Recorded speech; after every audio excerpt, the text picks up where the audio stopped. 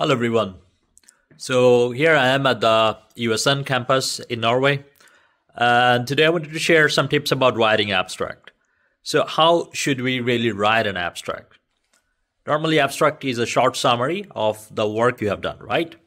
And to write it, normally we start with one sentence about the background of the whole study. So we start with the background, one sentence, then we put one more sentence about why we did this study. Okay, and after motivating that, we say how we did this study, another sentence. So we have now three sentences.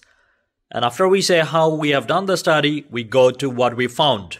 But maybe we allocate one or two sentences about the results. And then the last sentence should be about the implications of the findings. Okay.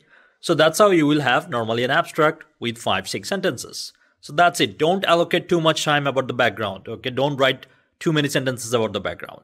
Good luck.